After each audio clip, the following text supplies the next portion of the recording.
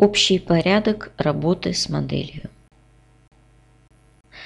Запуск программы «Сервер и конструктор», создание новой пустой модели, вызов модели в работу, получение лекал различными способами, именование, отработка лекал модели, сохранение лекал и окончание работы в программе.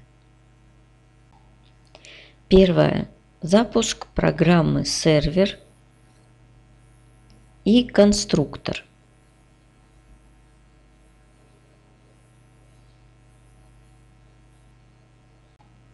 Второе. Создание новой модели. В окне работы с базой вводим параметры новой модели, наименование, код модели, фамилию конструктора. Выбираем шкалу размеров и устанавливаем в ней рабочий диапазон размеров и ростов.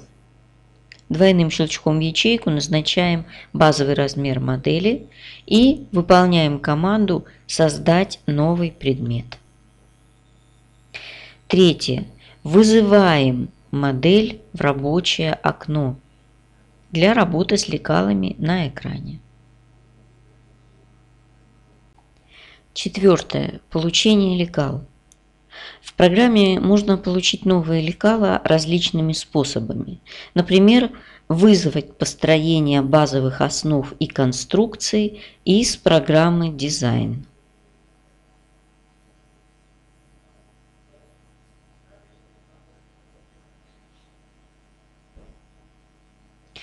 Можно также оцифровать бумажные лекала и разводки на дигитайзере. Можно конвертировать готовые модели из других форматов. Новые безымянные лекала необходимо именовать для сохранения их в модели. Пятое. Именование лекал. В окне параметров лекала присваиваем лекалу материал и имя из нужной группы имен. Устанавливаем количество деталей на единицу изделия.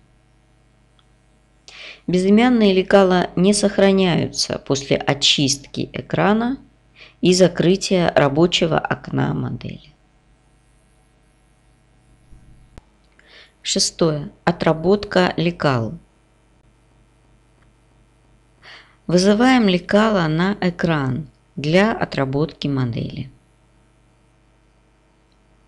Прежде всего выполняем техническое размножение лекал, если они введены в систему без градации в одном базовом размере. И начинаем работу с лекалами. Наносим модельные линии различной конфигурации.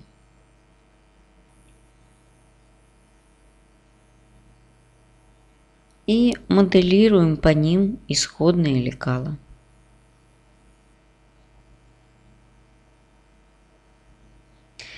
Таким образом получаем лекала верха, например, с помощью функции «собрать лекала».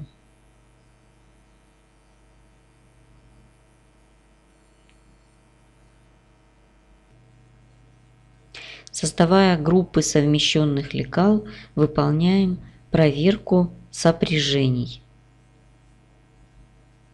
Корректируем форму линий либо во всех размерах лекала, либо в отдельных размерах разводки.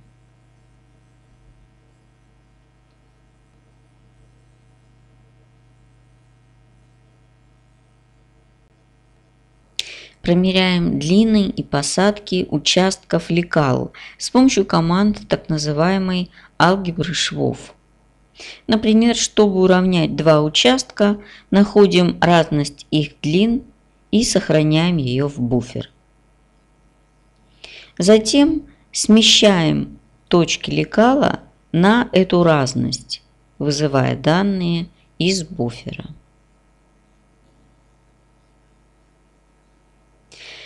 Можно устанавливать желаемую посадку на участке.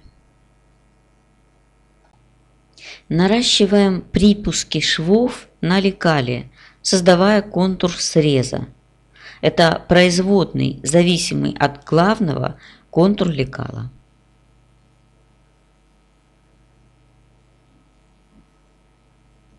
На контуре среза выполняем команды окончательного оформления. Строим различные подгибы низа, выступы, уступы и так далее. Таким образом получаем окончательный вид лекал верха для раскроя.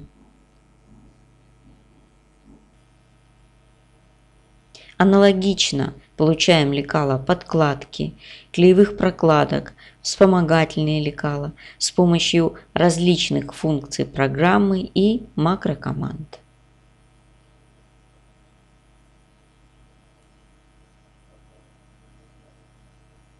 Седьмое. Сохранение лекал. По окончании работы с моделью необходимо сохранить лекала в базе. Оканчиваем работу в программе. Очищаем экран от лекал. И закрываем окно рабочей модели и общее окно программы.